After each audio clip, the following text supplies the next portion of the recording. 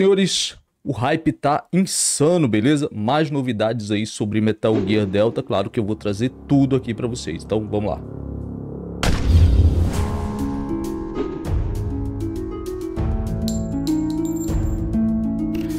Ok, Beleza, guerreiros, como sempre, satisfação enorme ter todos vocês por aqui.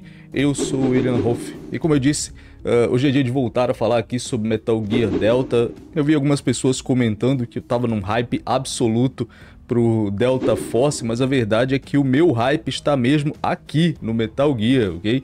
Esse é o meu verdadeiro hype aí. Esse jogo tá incrível. Então, Vamos lá falar sobre ele, todas as novidades, tudo que a Konami soltou aí pra gente. Mas antes, surtos elétricos podem causar danos terríveis a seu console ou seu PC game, enfim. Então, a dica é, proteja eles com o iClamper, beleza? O iClamper é esse dispositivo que você está vendo aí na tela, tem vários modelos e com esse dispositivo os seus equipamentos ficarão seguros, ok?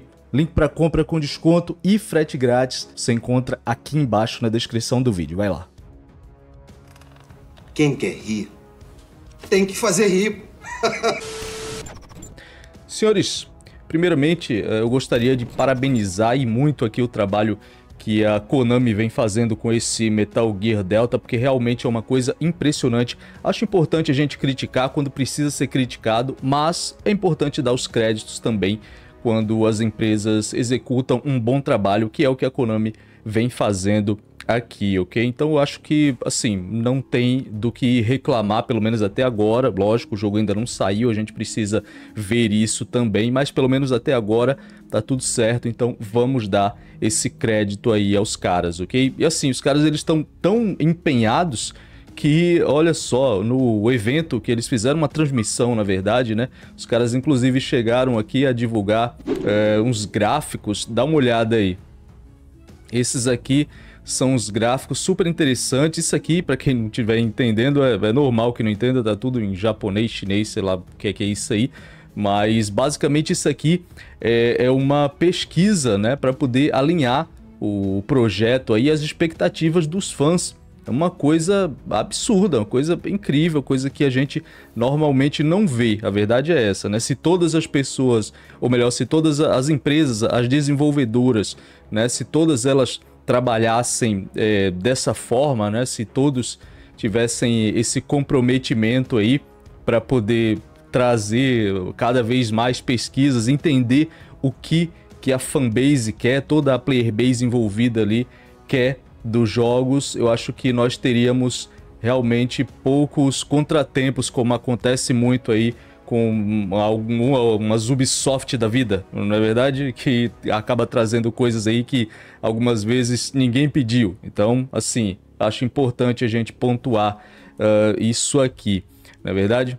E como eu disse, eles trouxeram aí várias novidades, mostraram aí, por exemplo, aqui o menu de camuflagem que está bem fiel ao original, Olha só, dá uma olhada aí. Cara, é, é sério, eu tô apaixonado aqui por esse menu de camuflagem, tá, tá maneiríssimo. Tá bem fiel, né? A intenção é essa mesmo. Mas é sério, é, tá incrível. Eu espero que eles adaptem também os controles, né? A jogabilidade aqui dentro dos menus e tal, que era meio cagada lá no original. Coisas da época, né? Na verdade. Existiam realmente algumas limitações, é, é normal que isso aconteça. Aí, aqui a gente vê os filtros, né, que foram adicionados, porque a, a comunidade tinha reclamado que o remake não tinha aquele filtro amarelado lá, a comunidade basicamente reclama de tudo, o pessoal é exigente mesmo, né? Então, tá aí uh, os filtros também, né? Beleza, tá, tá legal, tá, tá bem legal isso aqui. Lembrando que tem aquela questão também dos ferimentos, né? Que os ferimentos eles permanecem aí durante a campanha e tal. É uma coisa que vou fazer muito vídeo a respeito para poder mostrar. Ah, cara, vai ser, vai ser legal, vai ser bem legal mesmo. E além disso, ainda tivemos mais, né, mais coisas aí, por exemplo, uh, os devs, né, reforçando mais uma vez que eles vão reutilizar as linhas de diálogo do, do original e tal. Uh, isso a gente já sabia, né? Eu já tinha trazido aqui para vocês também, não é nenhuma novidade, mas é importante que eles fiquem sempre reforçando isso, que realmente vai ser um, uma obra bem fiel ao original. Acho que é isso que o pessoal quer realmente, o hype todo que está envolvendo essa produção aí, acho que meio que atesta isso, que realmente é o que o pessoal é, quer. Na verdade, eles disseram que gravaram até algumas linhas de diálogo adicionais para poder complementar uma coisa ou outra, mas basicamente vai ser tudo que a gente já tem no original. O que eu achei interessante aqui, na parte que eles estão lendo uns comentários ali, é um, um aceno que eles fazem pro Kojima, né? Basicamente eles garantiram que o, o, Kojima vai ser creditado, toda a equipe, né, de desenvolvimento, na verdade, vai ser creditada, que era uma coisa que muita gente estava meio que preocupada sem saber se eles iam creditar ou não, porque não estava aparecendo ali no início e tal, esse tipo de coisa, mas vai sim, vai ser creditado. Inclusive, além disso, os caras meio que convidaram o Kojima para poder participar dos próximos remakes. Negócio, isso sim foi foi bem, uh, digamos assim, bem inesperado ali no evento. Realmente, acho que ninguém estava contando com isso, não, por causa daquela treta e tudo, mas aparentemente parece que a treta acabou. Aquela história, né? Amigos, amigos, negócios à parte. Então, os caras tiveram a treta e tudo, mas uh, né, quando se fala em dinheiro, aí os caras esquecem rapidinho da treta.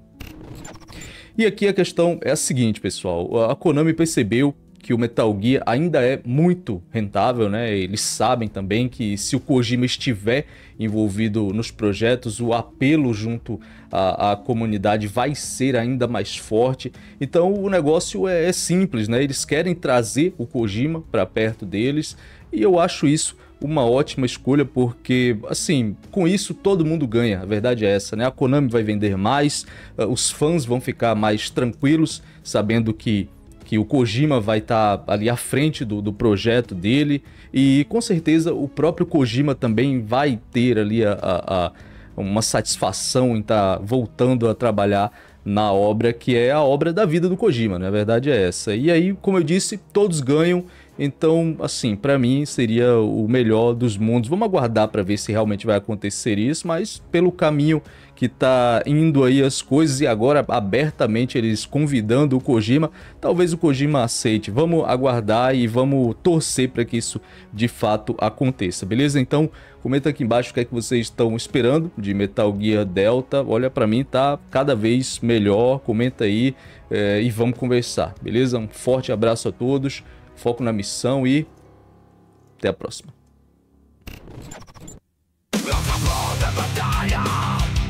O capitão está